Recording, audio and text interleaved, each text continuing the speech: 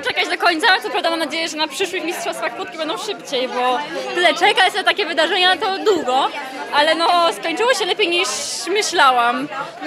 Liczyłam na ten medal w, indywidualnie, no w sztafecie trochę przetrzony pomysł, ale powiódł się, powiódł się z rekordem Polski, więc no cieszę się, że niespodziewanie, ale zgrałyśmy się z dziewczynami, bo no tak naprawdę nie ćwiczyłyśmy. I cieszę się, że tak wyszło. Na płotkach też po prostu spodziewałam się trochę większej walki w finale, ale jak ruszyłam ja, to już dotrzymałam do końca tą pierwszą pozycję. No i no, jestem mistrzynią Europy.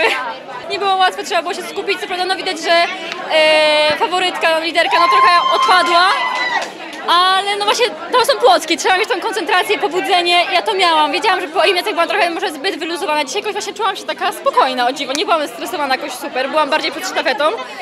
Więc wiedziałam, że muszę się pilnować, żeby tutaj nie uderzyć o ten płotek, żeby do końca trzymać rytm, bo no na płotkach nie można sobie w ogóle po pozwolić na jakąkolwiek zbędną myśl czy jakiś impuls. No, to był szalony pomysł, tym bardziej, że z Anią nigdy nie miałam do czynienia w sztafecie, a Ania tu trzy medale, ja zakończyłam z dwoma. No, Moje siostry też tutaj są i mnie uściskały, po prostu prawie płakały. No też chcę się już z nimi zobaczyć, bo ja trochę jestem odcięta od świata tutaj, od tych, e, nie wiem ilu, od rozgrzewki, po prostu telefonu w ręku nie miałam. Nie wiem co się dzieje, a już chcę tutaj porozmawiać z swoją rodziną czy znajomymi.